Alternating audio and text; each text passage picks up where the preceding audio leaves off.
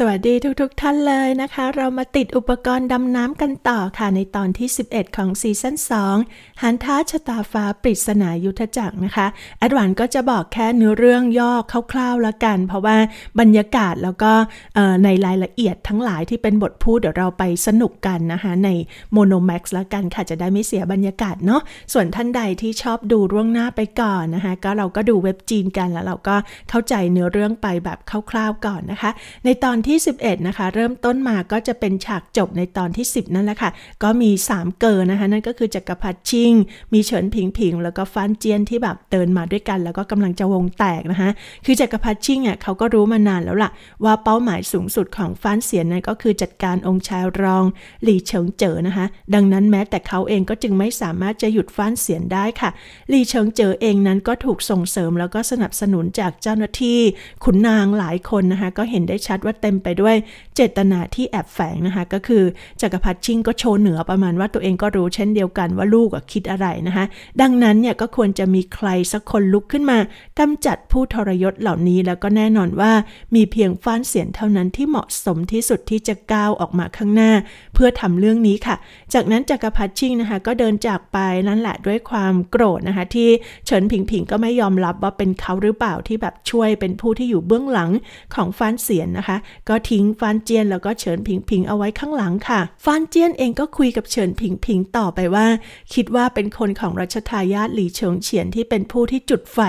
ให้กับไล่หมิงเฉิงในท้องพระโรงนั่นแหละ แต่เฉินผิงผิงเดาว่าคนเหล่านี้ถูกจัดเตรียมมาโดยหลินรั่วฝูตังหาก คือเขาก็จงใจปล่อยให้ผู้ใต้บังคับบัญชาของรัชทายาทหลี่เฉิงเฉียนนั้นออกมาข้างหน้าเพื่อกระตุ้น ให้เกิดความขัดแย้งระหว่างองค์ชายรอง หลี่เฉิงเจ๋อแล้วก็รัชทายาทหลี่เฉิงเฉียนค่ะ ฟานเจียนพอได้ยินเรื่องนี้จากเฉินผิงผิงก็รู้สึกประหลาดใจมาก แต่พวกเราจะจำได้ใช่ไหมคะว่า หลังจากที่เลิกจากท้องพระโรงแล้วเนี่ย คนที่ฟานเสียนไปหลอกก็คือว่าที่พ่อตาของเขา ก็คือหลินลัวฝูนั่นแหละค่ะ นั่นก็หมายความว่าฟานเสียนของพวกเราฉลาดมากเขารู้ว่าผู้ที่อยู่เบื้องหลังช่วยเหลือเขาอย่างแท้จริงนั่นก็คือ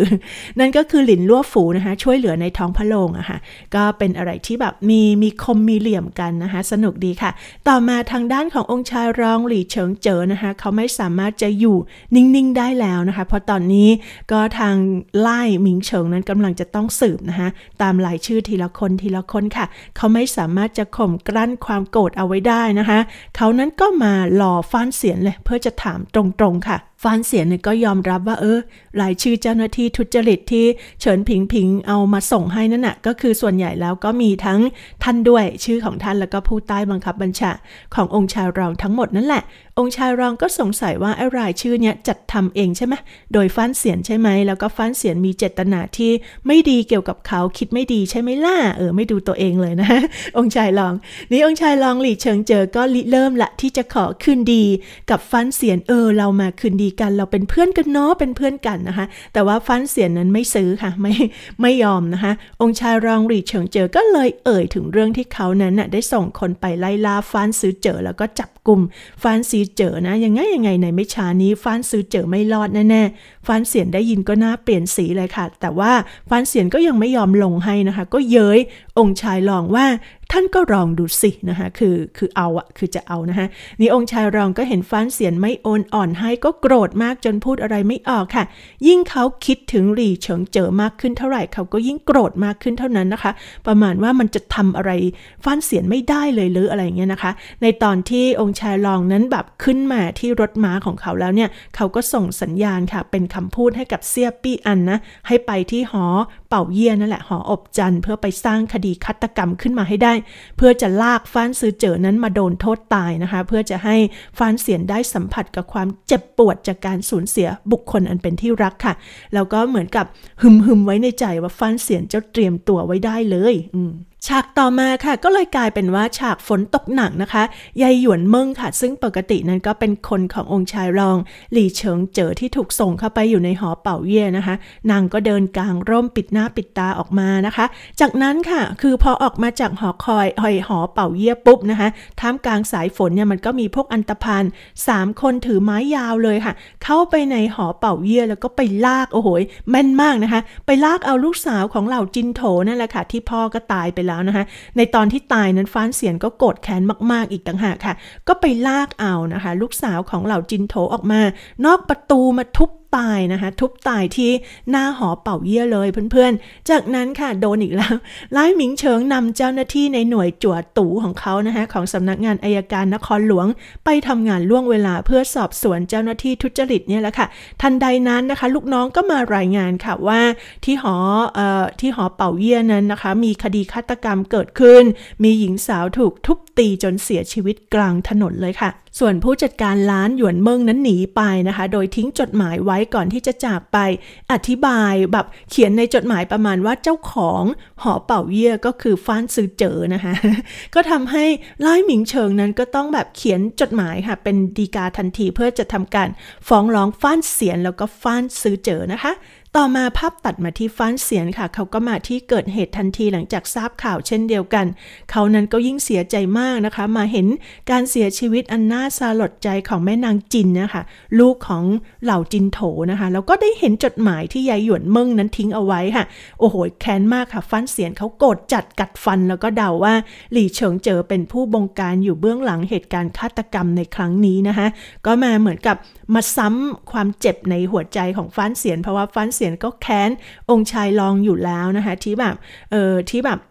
ไอ้จินเหล่าโถเหล่าจินโถนั้นเสียชีวิตนะคะคราวนี้ทำให้ลูกสาวของเหล่าจินโถเสียชีวิตอีกฟ้านเสียนสั่งทันทีเลยว่าให้ตามล่าหยวนเมิงมาให้ได้ค่ะ ทีนี้นะคะก็มีภาพของ ทายาทขององค์ชายจิ้งอะค่ะที่มีความสัมพันธ์ใกล้ชิดกับหยวนเมิงก็คือนวลนัวอยู่เนาะชอบใยหยวนเมิงนะคะเขากังวลมากว่าเขานั้นจะเข้าไปมีส่วนเกี่ยวข้องกับคดีนี้นะคะ ก็เลยเออมาหาฟ้านเสียนเพื่อจะขอความช่วยเหลือค่ะ เขาขอให้ฟ้านเสียนนั้นอย่าไปบอกใครนะเกี่ยวกับความสัมพันธ์ของเขากับหยวนเมิงเนี่ยแล้วเขาก็สาบานว่าต่อไปเขาจะปฏิบัติดีต่อฟ้านรั่วๆก็คือหลังจากที่แต่งงานกันไปแล้ว คือไอ้คนเนี้ยเป็นเพื่อนขององค์ชายรองแล้วมันเป็นเพย์บอยแล้วองค์ชายรองเสนนอว่าจะให้แต่งงานกับฟ้านรั่วๆนะคะก็คือไอ้คนนี้แหละเขาก็เลยสาบานว่าจะปฏิบัติดีต่อฟ้านรั่วๆแต่ว่าฟ้านเสียนก็ไม่เชื่อค่ะ แล้วก็บังคับไล่นะคะให้ให้คนให้ไอ้คนนี้ออกไปนะคะ ต่อมาค่ะในวังหลวงนะคะ เมื่อจักรพรรดิชิงนี้ได้ยินข่าวเกี่ยวกับการเกิดคดี ฆาตกรรมที่หอเป่าเยี่ยแล้วจักรพรรดิชิงเขาก็เลยมาถามความคิดเห็นคือเรียกรัชทายาทเข้ามานะคะกะว่าจะเทรนค่ะฉากนี้ก็ตลกนะคะไม่ได้เทรนกับมือนะคะเทรนกับทีนค่ะเทรนกับทีน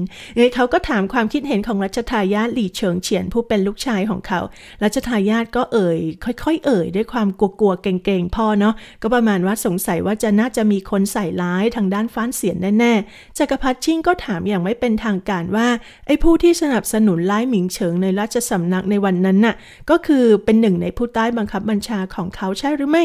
ด้วยความหวาดกลัวมากค่ะ รัชทายาทก็รีบคุกเข่าลงนะคะ เพราะว่าทำไมพ่อเดาถูกเป๊ะเลย แล้วก็ขอร้องค่ะร้องขอความเมตตานะคะจักรพรรดิชิงก็จงใจมอบเก้าอี้สามขาให้เขาแล้วบอกให้เขานั้นนั่งลงไปซิจากนั้นนั่งแล้วก็ก็คือหล่นนะเนาะโดนโดนถีบนะคะโดนพ่อถวายถีบไป ก็เตือนนะคะเป็นการเตือนให้รัชทายาทนั้นระมัดระวังในการทำงานในอนาคต และยังขอให้หลี่เฉิงเฉียนนั้นไปหาหองเฮาผู้เป็นแม่ของเขาด้วย เพื่อไปขอคำแนะนำสั่งสอนเพิ่มเติมค่ะ รัชทายาทนะคะก็วิ่งแจ้นเลยค่ะหลี่เฉิงเฉียนไปขอความช่วยเหลือจากฮองเฮาผู้เป็นแม่นะคะ ราชินีนะคะหรือว่าฮองเฮาก็ค่อยๆ ถามรายละเอียด ถึงสิ่งที่จักรพรรดิชิงนั้นได้พูดก่อนหน้านี้ จากนั้นนะคะนางก็สรุปแล้วก็บ่นกับลูกชายว่านี่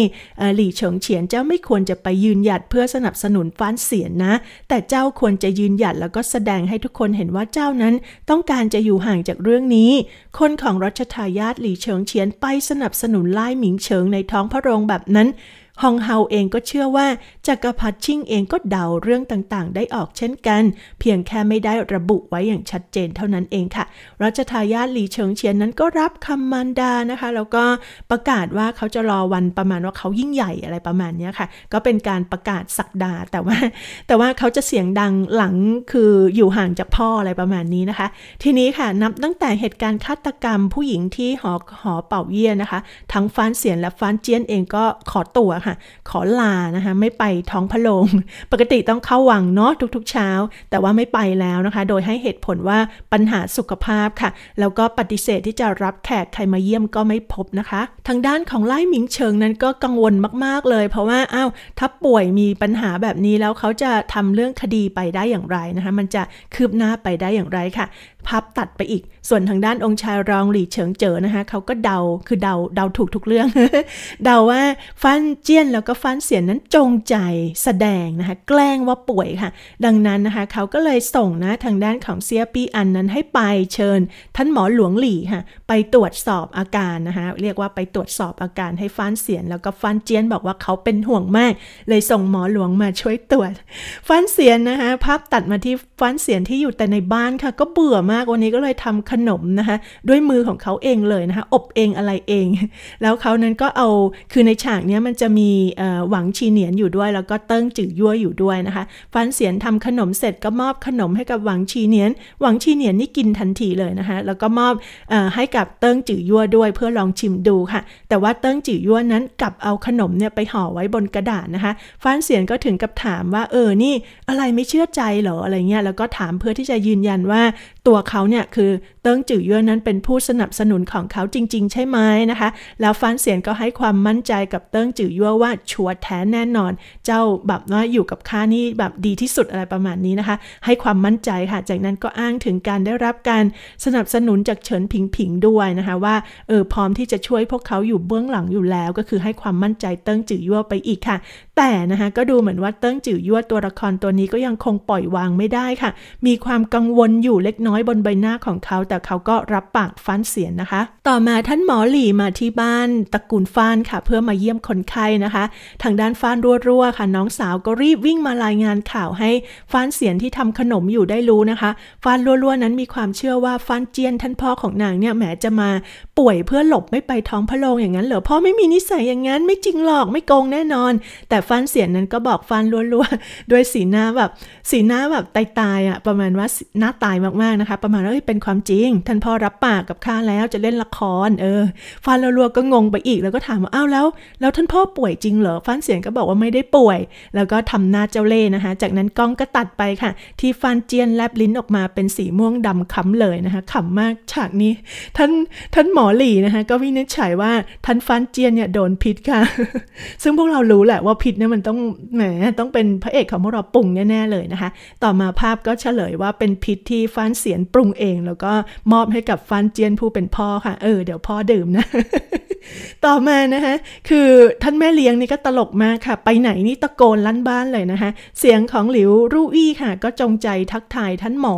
ท่านหมอหลี่เนี่ยเสียงดังมากเลยนะคะ เพื่อส่งสัญญาณบอกทุกคนในบ้านค่ะ ก็ฟันเจียนนั้นก็รีบจัดนะคะจัดที่หลับที่นอนของตัวเองอะไรแบบนี้ส่วนทั้งเรื่องของฟันเจียนถูกยาพิษแล้วต้องรีบหาตัวคนวางยาพิษโดยเร็วที่สุดนี่ก็ทางด้านหลิวรู่อี้ก็ตะโกนเช่นเดียวกันนะคะ ต่อมาท่านหมอหลี่ก็มาเข้าพบฟ้านเสียนค่ะ ฟ้านเสียนได้เตรียมการอย่างระมัดระวังนะคะ คือตัวเขาเองอะเป็นหมอ เป็นมีความเชี่ยวชาญทางพิษ ถ้าโดนพิษก็คงจะไม่เนียน ดังนั้นเขาก็เลยจัดการค่ะกดนะคะ บิดเส้นเอ็นบิดเส้นชีพจรของเขาค่ะ ก็ทำให้ฟ้านเสียนเองนะคะ มีใบหน้าที่ที่แบบขาวซีดค่ะแล้วจากนั้นนะคะ พอท่านหมอมาถึงที่ที่พักของฟ้านเสียนเนี่ยฟ้านเสียนนั้นก็โดนหวังชีเหนียนกับแบบฟ้านรัวๆเดินออกมาพร้อมกันโดยที่หวังชีเนียนนั้นก็เข็นนะคะเข็นรถเข็นที่มีฟ้านเสียนอยู่บนนั้นมาด้วย แล้วฟ้านเสียนก็ประมาณอธิบายว่าเขาเลือดลมบกพร่องนะ เป็นลมเพราะขาดการออกกำลังกายค่ะเพื่อนๆ จากนั้นบางครั้งฟ้านเสียนก็เหมือนจะมีสตินะคะแล้วก็พูดออกมาชัดเจน แต่ว่าบางครั้งก็เหมือนกับว่ามีความสับสนแล้วก็สลบหัวหัวตกกึกไปเลยนะคะเหมือนนกหมดแรงอะไรประมาณนี้ซึ่งก็สามารถหลอกนะคะท่านหมอหลี่ได้สำเร็จค่ะเพื่อนๆฉากนี้ก็ขำมากๆเลยนะคะจากนั้นค่ะท่านหมอหลี่เนี่ยก็ไปรายงานตามความจริงกับสายตาที่เขาเห็นมาไปรายงานองค์ชายรองหลี่เฉิงเจ๋อว่าฟันเจี้ยนนั้นถูกวางยาพิษ และส่วนฟันเสียนนั้นได้รับบาดเจ็บสาหัสองค์ชายรองหลี่เฉิงเจ๋อนั้นก็ไม่เชื่อเลยนะคะคือรู้ทุกอย่างองค์ชายรองอะประมาณว่ายาพิษนั้นก็ต้องเป็นฝีมือการปรุงของฟันเสียนแน่ๆค่ะ จากนั้นกล้องตัดไปนะคะทางด้านของท่านเติ้งจือยั่วค่ะ ก็เรียกคนมาจำนวนมากเลยนะคะ ก็เป็นเหมือนแต่งตัวเหมือนชาวบ้านร้านตลาดนั่นแหละมายืนเรียงกันเต็มเลยค่ะ เติ้งจื่อยั่วนั้นนะคะกำลังที่จะให้พวกเขาไปกระจายข่าวเรื่องความสัมพันธ์ค่ะระหว่างหยวนเมิงผู้จัดการหอเป่าเย่กับหลี่หงเฉิงนะคะลูกชายคนโตของ